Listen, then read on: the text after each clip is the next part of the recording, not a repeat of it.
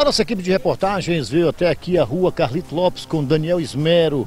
Moradores dessas duas ruas paralelas estão passando assim por momentos, digamos, difíceis. O primeiro deles é justamente a questão do saneamento básico, a questão de águas que são jogadas nas ruas. A fedentina é enorme, os moradores ainda têm que se deparar com os quadros de energia que durante toda a madrugada estariam pegando fogo. Isso mesmo, pegando fogo. E que vocês observam aqui, gente, olha só. A Coelce veio, né, tentou solucionar o problema, mas a grande verdade é que a situação é essa, como vocês observam aí nas imagens, né? Aqui com a Graça, Graça, é difícil a situação como essa. A rua Daniel Esmero com a rua Carlito Lopes, além da questão da fedentina dos esgotos, ainda tem que se deparar com a questão da parte elétrica. É, Chiquinho, ontem, pela volta de três horas, três e pouco, começou o papocado, né?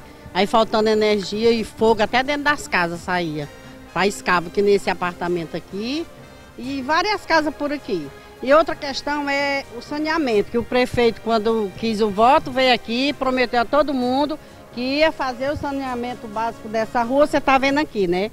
A maior sujeira, uma fede, fede que é horrível, horrível. Tem dias que a gente só falta não aguentar. Os moradores, mesmo que dão um jeito, bota água, a gente joga desinfetante, puxa com o rodo, porque isso aqui é muito fácil de resolver. Só é botar do começo da rua ali, vem, traz, desce aqui por essa rua e vai, bota nos esgotos grandes que tem ali na pista, para a água cair lá. Porque evita. Filme aí para você ver a imundícia aqui de mato. Aí junta rato, junta muriçoca. Não tem que aguente isso, não. É no baldio também onde aqui. É que, né? Onde é que está o nosso dinheiro, dos nossos impostos? Né? Essa, essa água vem da onde? Muito bem ajeitada. Vem dessas casas aqui, dessa rua. Ela desce num caninho fino que os moradores colocaram, aí ela sai aqui nesse buraco, aí desce aqui nessa rua, incomodando a vizinhança todinha. E faz mal isso aqui para trazer doenças para as crianças. Olha, realmente procede mesmo a questão da fedentina. É um cheiro insuportável, né?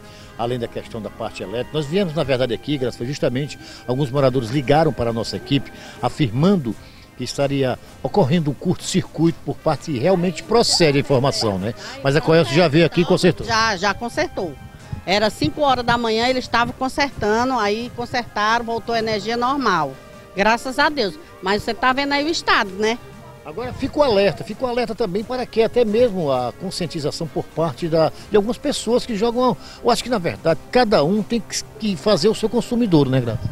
É, muita gente aqui nessa rua já tem consumidor, né?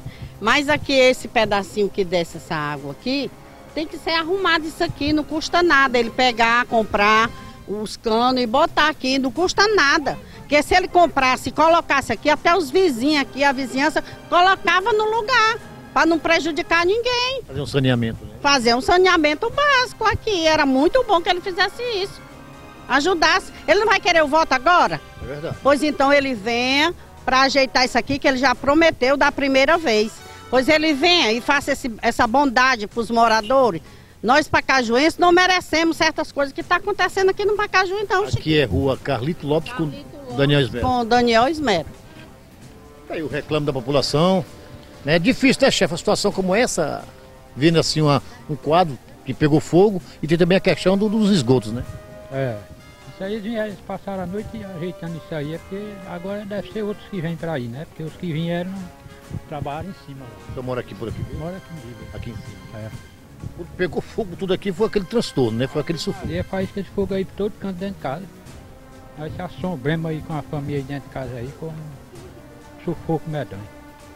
Aí vieram logo. A gente ligou, eles chegaram logo. E a questão do mau cheiro dos esgotos, como é, como é que conviver dessa forma? Aqui é horrível, aqui é. Só sabe quem mora aqui. Mas a, a conversa é essa, eles vêm, olham aí, vão-se embora e pronto, fica por isso mesmo. Qual é o nome do senhor? Antônio. Antônio, muito obrigado pelas informações. E assim, fica o reclame, Graça, né? Na verdade, para que as autoridades possam fazer alguma coisa, né? Possa, possa fazer alguma coisa pela população. A gente está precisando aqui. E outros bairros também, não é só aqui, né, Chiquinho? Nós estamos no Pacajus um caos. Tá triste. Tá difícil a situação. Tá difícil, tá muito difícil. Mas Deus é bom pai. Vamos ver quem merece dessa vez, né? É verdade. a campanha tá aí, né? Tá aí, é o reclamo da população, nossa equipe mostrando aqui com exclusividade. Aqui estamos no bairro Croatá. Croatá, rua Carlito Lopes, com Daniel Esmero. Chamou?